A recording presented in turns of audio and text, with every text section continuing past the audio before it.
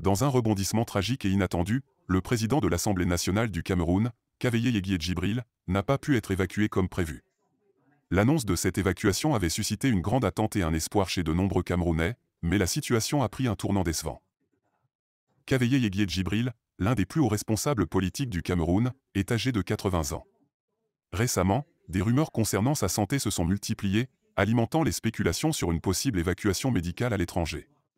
Cependant, malgré les préparatifs apparents et l'annonce de l'évacuation imminente, il a été rapporté que des complications de dernière minute ont empêché le départ de Kaveye Yegye Djibril. Cette nouvelle a créé une onde de choc parmi les Camerounais qui attendaient avec espoir des informations positives concernant la santé du président de l'Assemblée nationale. L'événement souligne la fragilité de la situation politique au Cameroun et la nécessité d'une transparence accrue en ce qui concerne la santé des hauts responsables.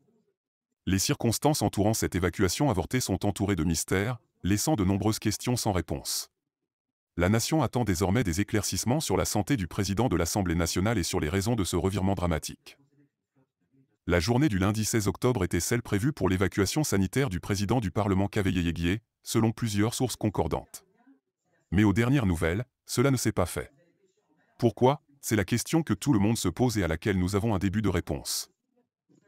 On apprend que, le président de l'Assemblée nationale Kaveye Yeguié Djibril n'a pas quitté le Cameroun hier comme prévu pour son évacuation sanitaire en Inde parce que ses femmes et ses enfants sont entrés en rébellion contre le directeur de cabinet, Boukar Abdourahim, qui non seulement ne souhaitait pas que le président de l'Assemblée nationale soit accompagné de l'une de ses quatre quatre épouses, mais avait privilégié un hôpital en Inde en lieu et place de la France.